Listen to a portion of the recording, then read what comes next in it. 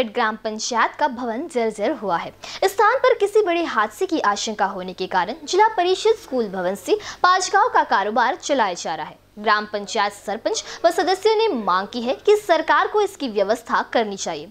स्थान पर एक नया भवन बनाना चाहिए, जिस ग्राम पंचायत भवन से ये पाँच गाँव का कारोबार चलाया जाता है। उस भवन की हालत बेहद खराब है। यह इमारत पूरी तरह से जर्जर हो चुकी है। यह जगह अंदर और बाहर से गोदाम में तब्दील हो चुकी है।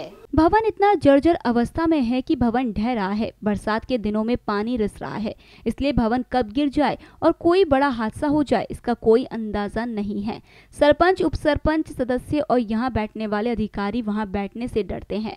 दुर्घटना ना हो, इसलिए सरपंच विलास नवघरे ने चार महीने पहले ग्राम पंचायत कार्यालय को पास के जिला परिषद स्कूल भवन में स्थानांतरित कर दिया और अब इस जगह से ग्राम पंचायत काम कर रही है।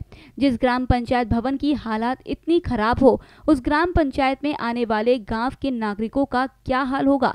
यह सवाल इस इमारत को देखकर सभी के मन में आता है।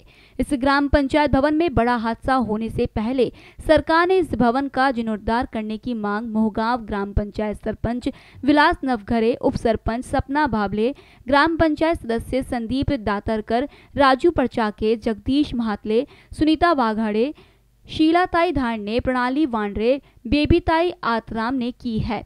समुद्रपुर से प्रमोद वैद की रिपोर्ट।